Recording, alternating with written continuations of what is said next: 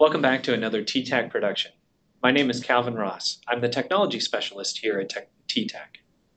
Today we're demonstrating an EKG exam using AliveCor's Kardia Mobile 6L.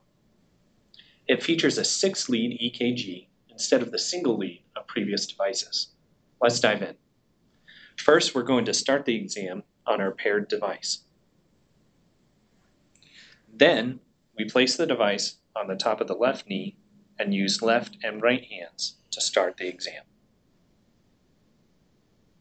The exam is now starting. It takes 30 seconds for the exam to complete its schedule. We are KardiaCare members. I can get six different arrhythmia detections using the Kardia mobile app. We also have the option of four exams to be reviewed annually by Kardia cardiologists.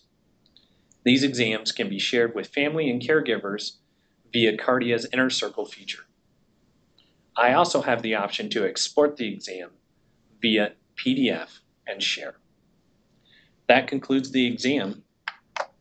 Please check out our Innovation Watch for more details on the Cardia 6L. Thank you.